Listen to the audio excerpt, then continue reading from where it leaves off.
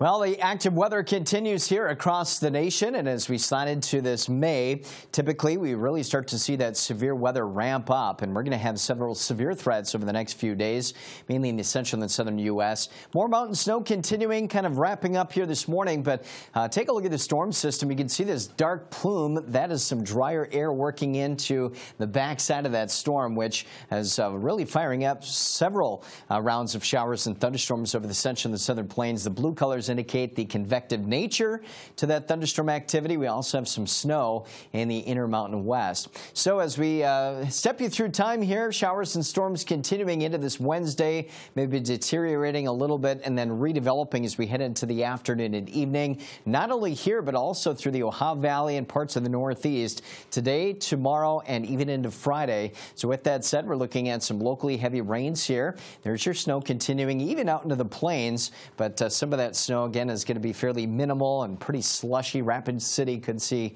a slushy couple of inches and then maybe a little bit as you get into the arrowhead of Minnesota. A winter weather advisory has been issued for the UP Michigan. We have some lingering winter weather advisories and warnings across the plains. And as I mentioned, where we have that heavy rain threat from Dallas Fort Worth up to the Ohio Valley, flash flood concerns for the potential of three to five inches of rain.